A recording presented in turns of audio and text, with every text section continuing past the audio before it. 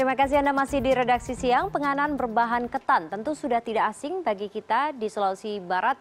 Ketan ini diolah menjadi gogos sekambu. Bagaimana rasanya? Mari kita ikuti Nabila Putri mencicipi gogos sekambu di Mamuju. Dan informasi ini akan sekaligus menutup redaksi CNN Indonesia siang kali ini. Saya Ratu Nabila, selamat siang dan sampai jumpa.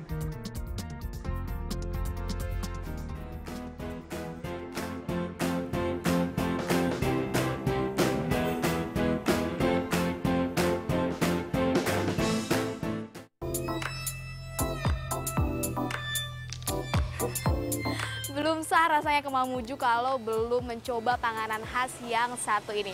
Gogos kambu ataupun beras ketan yang berisi ikan. Pas banget karena kita ke sini nih baru aja dibakar. Jadi pasti enak banget anget-anget. Pak, mau pesan satu ya Pak? Ada yang bilang tak ada orang Sulawesi yang tak tahu apa itu gogos. Yup, Beras ketan yang dibungkus dengan daun pisang ini dulunya selalu disajikan sebagai pelengkap dari sesajian di setiap acara adat seperti pernikahan maupun upacara adat lainnya. Namun, kini gogo sudah menjadi panganan yang mudah dijumpai di mana saja dan kapan saja di Mamuju dan di beberapa daerah Sulawesi lainnya.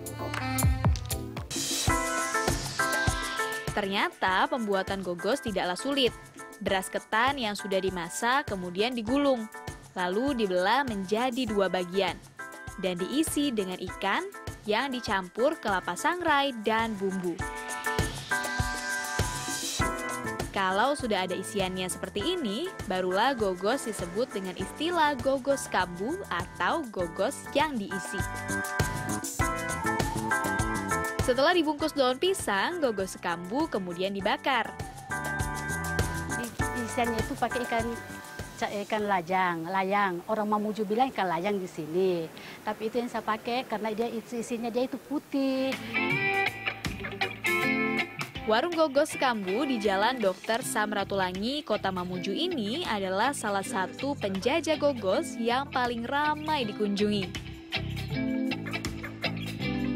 Tak hanya di waktu sarapan saja, Gogos di Mamuju juga biasa dikonsumsi pada malam hari. Dia punya beras ketan ini memang masaknya memang sudah agak seperti profesional lah, sudah profesional dalam hal ini. Rasa ikannya dicampur dengan bumbu-bumbu yang memang penyedap rasa yang memang sudah sangat pas. Satu porsi biasanya akan berisi tiga gogos kambu, lengkap dengan sambal merah khas Sulawesi sebagai pendampingnya. Dibanderol Rp10.000 per porsi, panganan ini dijamin mengenyangkan perut Anda. Biarpun sekilas kelihatannya mirip sama lemper, tapi ternyata setelah mencobanya sendiri ini rasanya beda. Karena yang satu ini, gogos kambu memang bukan dikukus, melainkan dibakar. Dan dibakarnya juga menggunakan sabut kelapa, jadi rasanya ini otentik banget.